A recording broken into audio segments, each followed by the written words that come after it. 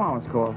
Except when she caught me drinking. I went to a basketball game, and apparently you're not supposed to down a bunch of whiskey before you go to these things at school. And then they kicked me out of high school. But that was a good thing, because when I went to the new high school, Mark's sister was dating one of my best friends, and uh, I met Mark. It was love at first sight, absolutely. They just are made for each other. My sister's like, uh, hey, you got to meet this guy named Tom.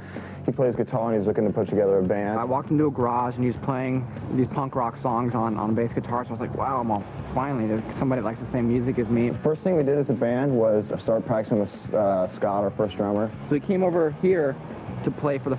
Neither one of them has ever grown out of junior high. We both have the same sense of humor. Poop, poop, caca, ooh.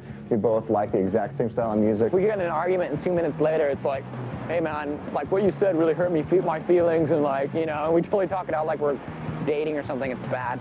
We just uh, clicked immediately.